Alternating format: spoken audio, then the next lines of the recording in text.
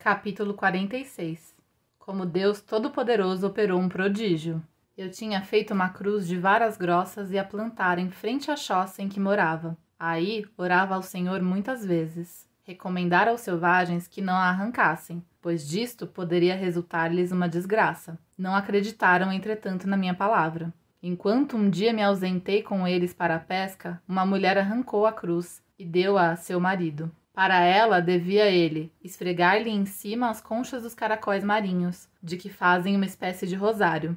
Isto muito me desgostou. Logo depois começou a chover fortemente, durante muitos dias. Vieram então à minha choça e exigiram que eu devia entender-me com meu Deus para que a chuva cessasse, pois o seu tempo de plantação já havia chegado, e se não parasse a chuva, não poderiam plantar. Respondi que a culpa era sua, haviam encolerizado meu Deus, arrancando o lenho junto do qual eu costumava falar-lhe. Como acreditassem que eles mesmos tinham provocado a chuva, ajudou-me o filho do meu amo a erigir uma nova cruz. Isto foi, a julgar pelo sol, mais ou menos a uma hora da tarde. Quando se levantou a cruz, tornou-se o tempo belo, embora tivesse estado muito ruim de manhã. Admiraram-se todos e pensaram que o meu Deus fazia o que eu queria.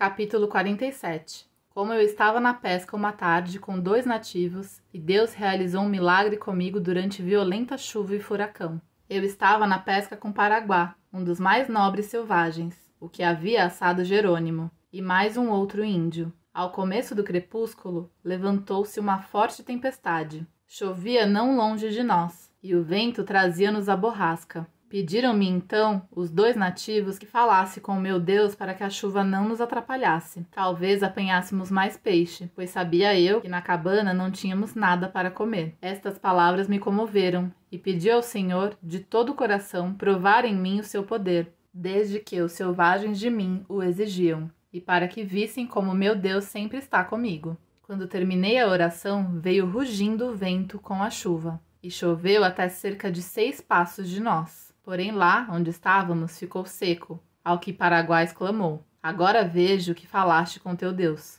Apanhamos também depois algum peixe. De volta à choça, contaram ambos que eu havia falado com meu Deus, e o que então se passara. Com tal se admiraram os outros selvagens.